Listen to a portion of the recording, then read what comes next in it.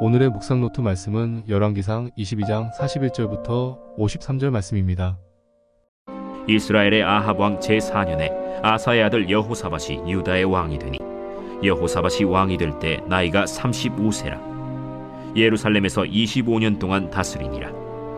그의 어머니의 이름은 아수바라 실히의 딸이더라 여호사밧이 그의 아버지 아사의 모든 길로 행하며 돌이키지 아니하고 여호와 앞에서 정직히 행하였으나 산당은 패하지 아니하였으므로 백성이 아직도 산당에서 제사를 드리며 분양하였더라 여호사밧이 이스라엘의 왕과 더불어 화평하니라.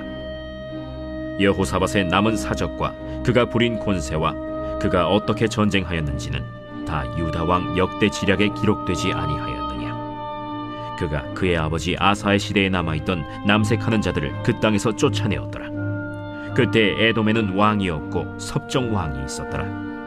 여호사밧이 다시스의 선박을 제조하고 오빌로 금을 구하러 보내려 하였더니 그 배가 에시온 게벨에서 파손하였으므로 가지 못하게 되매 아합의 아들 아하시아가 여호사밧에게 이르되 내 종으로 당신의 종과 함께 배에 가게 하라.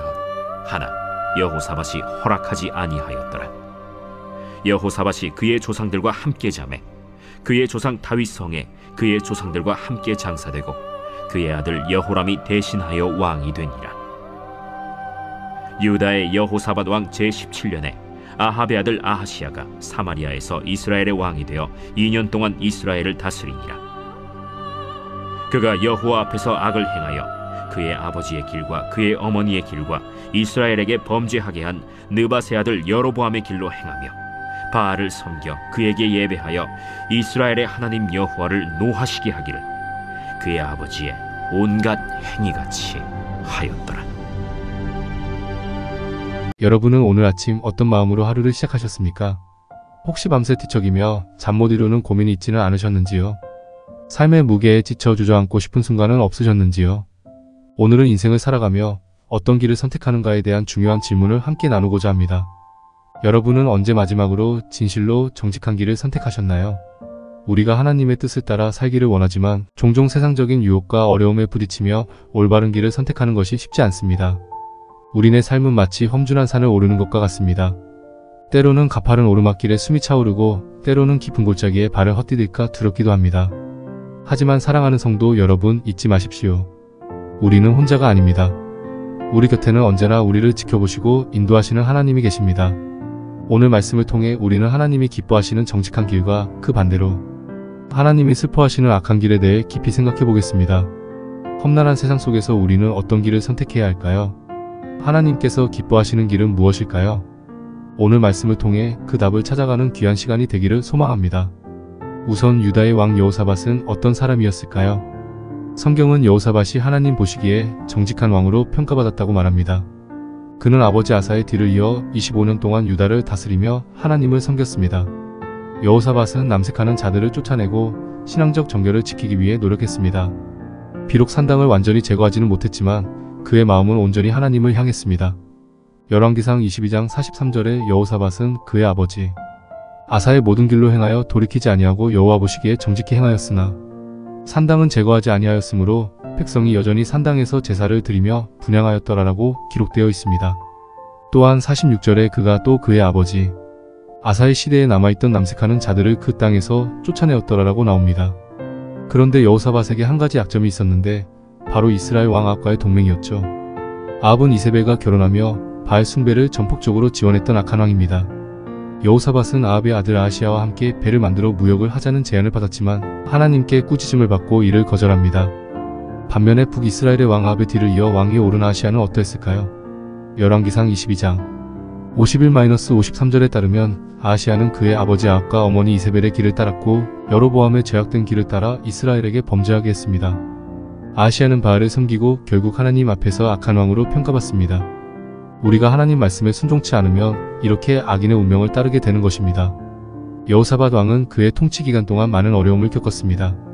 특히 북이스라엘 왕 아합과의 동맹으로 인해 전쟁에 휘말리고 죽을 뻔한 경험을 했습니다.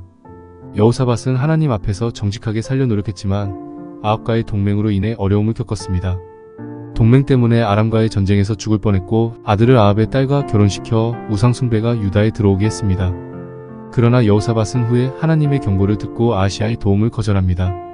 이를 통해 이방신과 타협하지 않겠다는 결심을 보여줍니다. 여호사밧은 이런 실수를 통해 배운 교훈을 잊지 않았습니다. 역대하 20장 36-37절에서 하나님은 선지자 엘리에셀을 통해 여호사밧에게 아시아와의 동맹이 잘못된 것임을 경고하셨고 여호사밧은 그 경고를 듣고 아시아의 도움을 거절했습니다. 이는 여호사밧이 하나님께 온전히 순종하려는 마음과 용기를 보여줍니다. 여호사밧의 가장 큰 업적은 바로 이 결단력이었습니다.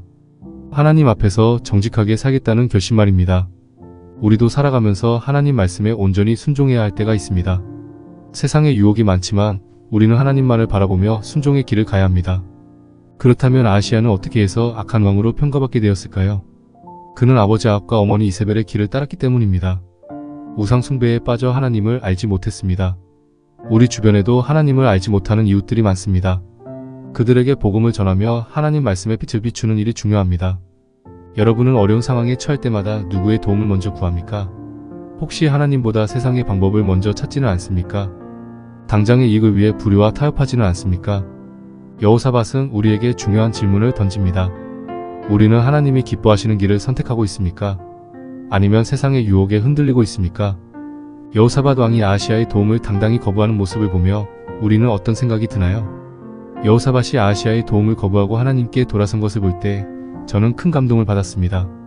정말 어려운 결단이었을 텐데 하나님 앞에서 정직하겠다는 굳은 결심이 있었기에 가능한 일입니다.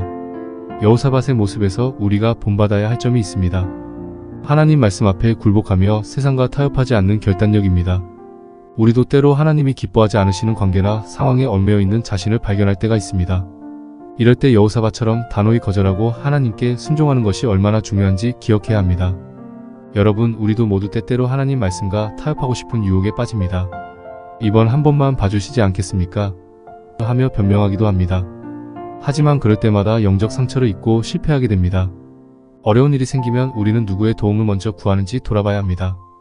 세상적인 방법에 손을 뻗치지 않고 하나님께 나아가 도움을 구하는 것이 중요합니다. 그렇기에 지금 이 시간 우리 각자 하나님 앞에 내어놓고 돌아보아야 할 부분이 무엇인지 생각해 보십시오. 끊어야 할 관계나 버려야 할 습관이 있다면 하나님께 고백하며 결단하시길 바랍니다. 오늘 하루도 언제나 하나님 보시기에 정직하며 당장의 이익을 위해 불의와 타협하지 않고 믿음으로 승리하기를 축원합니다. 함께 기도하시겠습니다. 사랑과 은혜가 풍성하신 하나님 아버지, 오늘 우리는 여호사밧의 삶을 통해 하나님께서 기뻐하시는 길이 무엇인지 배웠습니다. 우리는 하나님 앞에서 정직하게 살아가기를 소망합니다. 우리는 세상의 유혹에 흔들리지 않고 하나님의 뜻에 순종하기를 원합니다. 우리의 삶에서도 여호사밧처럼 하나님 보시기에 정직한 길을 선택할 수 있는 용기와 지혜를 허락하여 주시옵소서. 어려운 일이 생길 때마다 하나님의 도움을 먼저 구하며 세상적인 유혹에 흔들리지 않도록 우리의 믿음을 굳건하게 세워 주시옵소서. 끊어야 할 것을 과감히 끊고 주님의 뜻을 따라 살아가는 삶이 되게 하여 주시옵소서.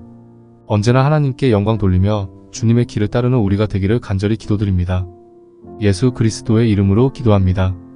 아멘.